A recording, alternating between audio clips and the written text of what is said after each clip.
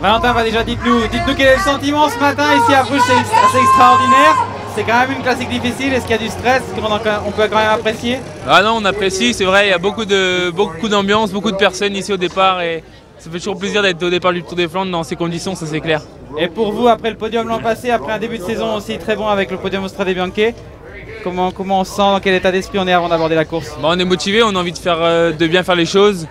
Euh, c'est clair que la condition était vraiment très bonne ces derniers temps. Après, voilà, on verra comment seront les jambes. Je suis pas très bien dormi cette nuit, un peu barbouillé au niveau du ventre. J'espère que ça va passer pour la course. Je sais que la condition est là et on va essayer de donner le maximum en tout cas. Et comment faire aujourd'hui du coup Comment faire Parce que tout le monde dit qu'il faut anticiper. Vous, vous avez plusieurs cartes dans l'équipe, vous avez une équipe très forte. ouais, on a une équipe complète, très forte. Après, je pense qu'on a une tactique en tête, mais il y a plein de scénarios possibles.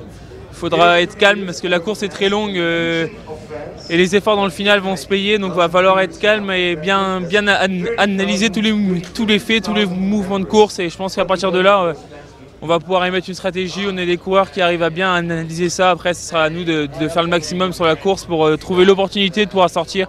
C'est clair que si on arrive avec euh, les trois, bah, on a de grandes chances d'avoir perdu. Donc ce sera à jouer tactiquement. Mais bon, avec le vent de face dans le final, va falloir être euh, très intelligent.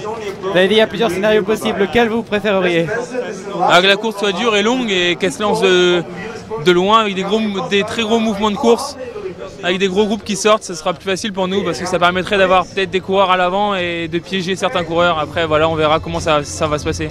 L'épouvantail, c'est Jumbo parce qu'on sait que les trois, les trois euh, Van Der Poel, Van Aert et Pogacar, on ne sait pas les suivre sur les ascensions les plus dures. Mais le risque, c'est que Jumbo canasse la course. c'est eux qu'il faut prendre en défaut en fait. Non, c'est sûr que ce sera Jumbo qui peut canasser la course. Après, ils n'ont pas l'habitude de courir comme ça, donc ça m'étonnerait qu'ils le fassent.